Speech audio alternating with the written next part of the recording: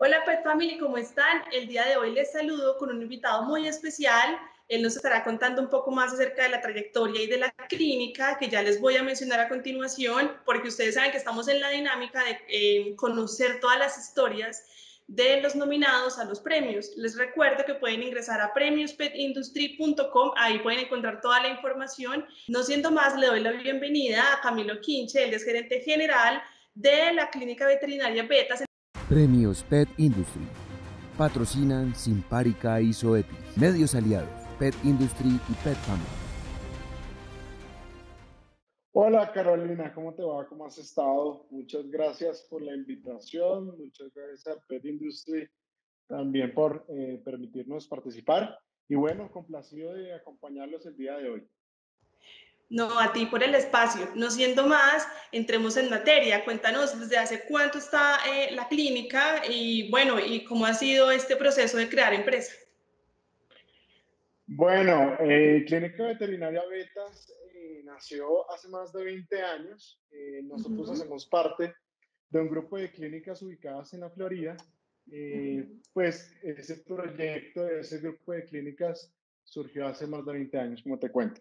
Eh, vimos una oportunidad en el, en el, espacio colombiano, en el mercado colombiano, hace cinco años al darnos cuenta que la conciencia de los propietarios de mascota estaba eh, cambiando, que cada vez había un poco más de, de reflexión acerca del cuidado de las mascotas y que cada vez había un poco más de responsabilidad al respecto. Entonces fue ahí cuando decidimos entrar. Eh, entramos con nuestra sede principal que está ubicada en la avenida Pradilla, en Chía, y, en y tenemos tres sedes adicionales que denominamos sedes satélite, eh, que están ubicadas en Cota y en Cajicá.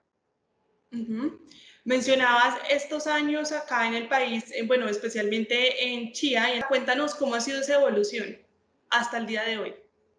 Dale, perfecto, Carolina. Bueno, eh, en el 2015, cuando, cuando iniciamos, eh, eso fue un aprender a conocer el mercado colombiano, porque claramente el americano es muy diferente y iniciamos eh, a reconocer las necesidades y las oportunidades eh, que nos brindaban los consumidores colombianos. Em, de hecho, cuando nosotros iniciamos acá en, Clínica Betas, en la sede principal en Chía, era algo muy diferente a lo que hoy día es, dado que mm, la atención médica y peluquería era importante, pero más nosotros teníamos una orientación hacia el pet store, hacia la venta de productos y eh, productos y entre los productos incluye a los alimentos y a los medicamentos. Sin embargo, con el pasar de los años, nos fuimos dando cuenta de algunas necesidades de los clientes em, hacia un servicio más hospitalario, más orientado hacia la atención de urgencias y fue ahí que vimos una oportunidad para eh, explotar el servicio de, de, la hospitalización y el servicio clínico. Y asimismo vimos una oportunidad también de prestar un servicio especializado y, y muy profesional de grooming y, y estética felina y canina.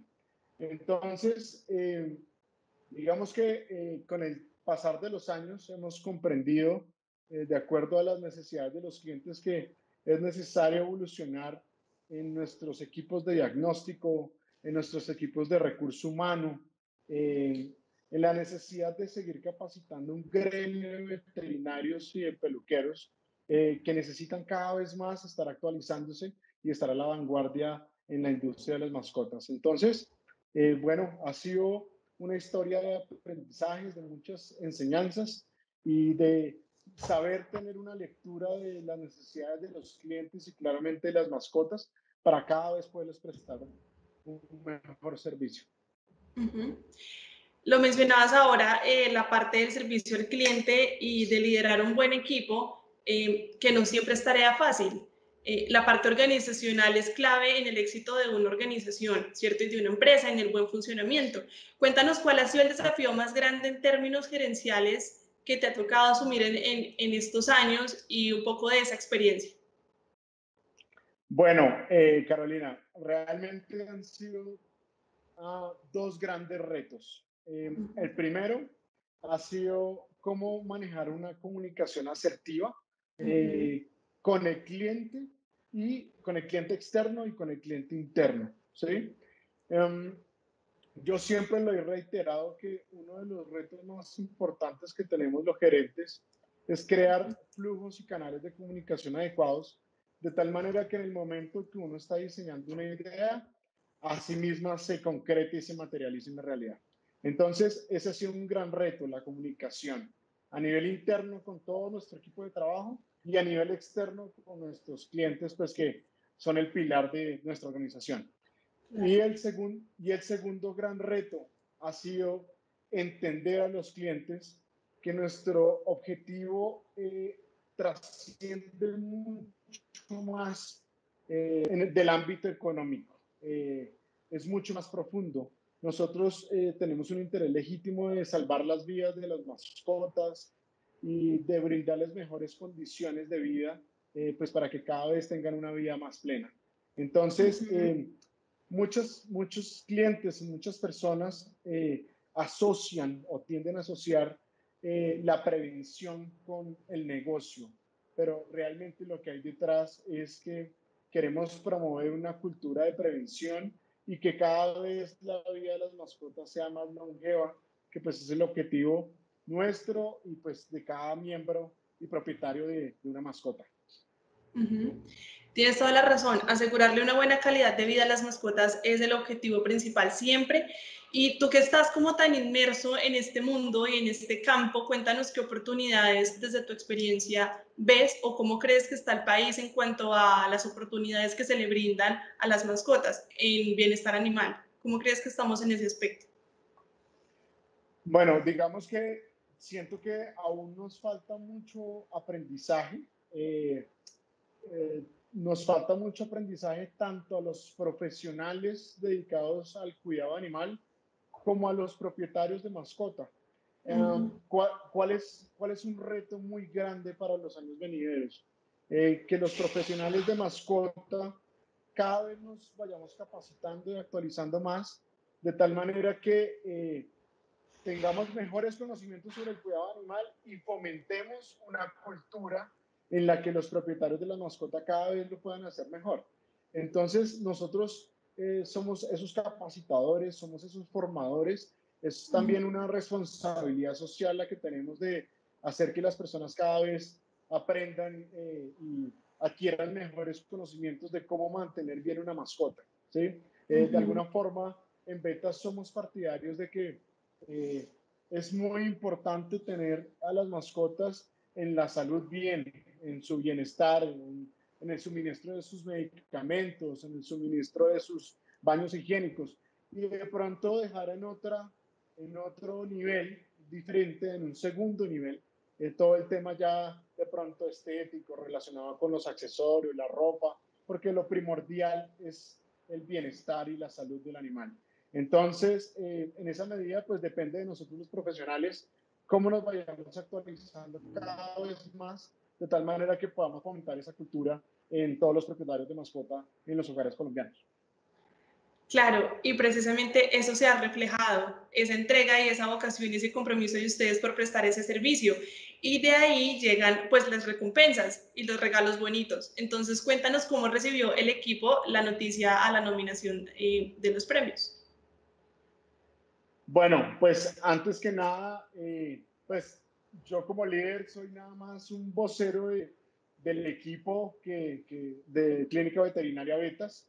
Esta real, este realmente es un reconocimiento a todos ellos por un enorme sacrificio que tienen día a día por salvar las mascotas y por tratar de darles una vida eh, plena. Ellos están enorme satisfe enormemente satisfechos.